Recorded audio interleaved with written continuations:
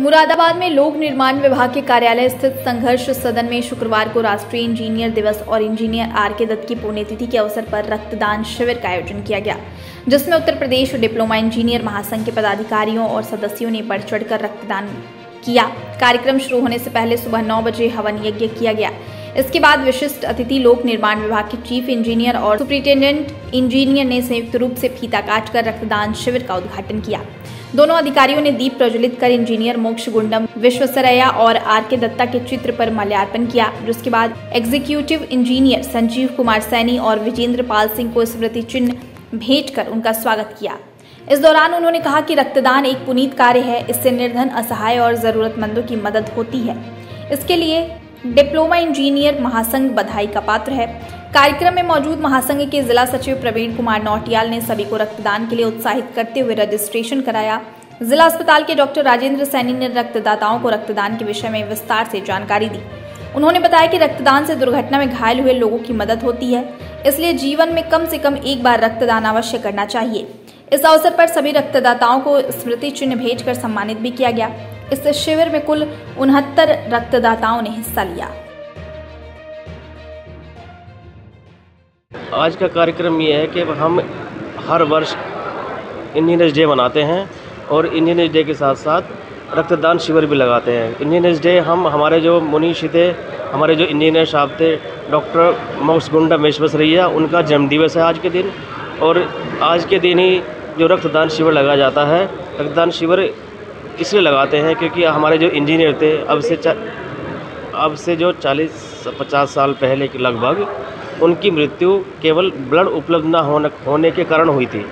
तो तभी से हम सभी इंजीनियर्स ने, जो हमारे प्रांतीय स्तर के अधिकारी हैं, पदाधिकारी हैं, उन्होंने फिर यही विचार किया कि भाई, किसी की मृत्यु ब्लड के कारण अगर होती है, और हमारे सभी मनुष्यों में, सभी साथियों में ब्लड उपलब्ध होता है, और ये ब्लड ये प्राकृतिक ब्लड नहीं है। ये नेचुरल नेचुरल ब्लड होता है और सभी सदस्य, सभी जितने भी पदाधिकारीगण हैं, दूसरे विभाग के सदस्यगण हैं जल निगम पी डब्ल्यू डी सिंचाई विभाग, लघु सिंचाई विभाग, बिजली विभाग, नगर निगम, सभी लोग आज के दिन एकत्रित होते हैं और डॉक्टर से, डॉक्टर की टीम आती है सरकारी अस्पताल से, वहाँ से चेकअप होने के बाद जो ब्लड देने के लिए उपलब्ध होते हैं, जिन, जिनका ब्लड लिया जा सकता है वो ब्लड डोनेट करते हैं। ब्लड डोनेट इसलिए करते हैं कि जिस प्रकार से हमारे इंजीनियर साहब की मृत्यु ब्लड ना होने के कारण हो पाई थी। कोई साथी हमारा या कोई किसी गरीब को किसी की मृत्यु ना हो, इस वजह से हर वर्ष लगभग पिचहत्तर यूनिट पिचहत्तर से पचासी यूनिट पचासी से कभी कभी हंड्रेड यूनिट पार कर जाते हैं। और इस बार भी हमारा यही उद्देश्य है कि हम इस प्रोग्राम को भव्यता से कर रहे हैं।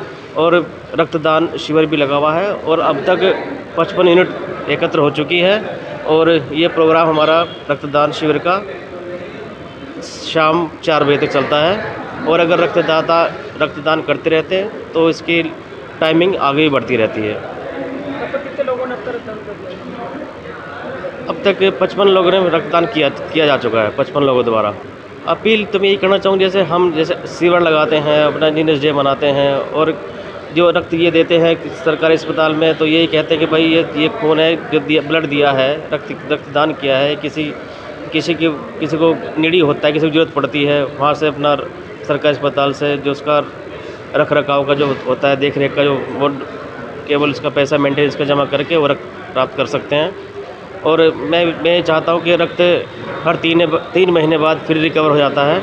और इसको देने से कई फ़ायदे होते हैं कि एक तो नया खून बनता है, दूसरा जो अभी डॉक्टर साहब ने बताया था, डॉक्टर राजेंद्र कुमार सैनी जी हैं सरकारी अस्पताल से, उन्होंने बहुत बढ़िया विचार रखे और जिनको सुन के जो रक्तदाता है, जो रक्त देना भी नहीं चाहते थे, स्वस्थ होने के बाद भी आज एक पहली बार एक व्यक्ति हैं, सिंचाई विभाग के इंजीनियर साहब हैं, उन्होंने पहली बार रक्तदान किया है और उन्होंने उन्होंने खुद अपने अभिव्यक्ति में कहा है कि मुझे रक्तदान करने के बाद बड़ा अच्छा फील हो रहा है।